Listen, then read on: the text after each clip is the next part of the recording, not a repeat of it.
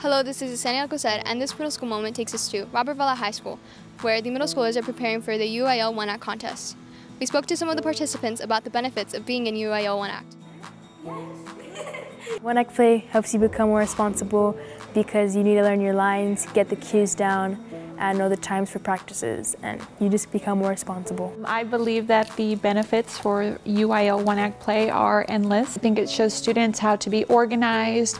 Um, it really shows them how to take and accept critique. It definitely allows them to sort of grow as an actor um, and challenge themselves to think outside the box to play these characters. One of the ben benefits from being in One Act Play is uh, teamwork learning how to work together as a team, and work with other people, and leadership skills.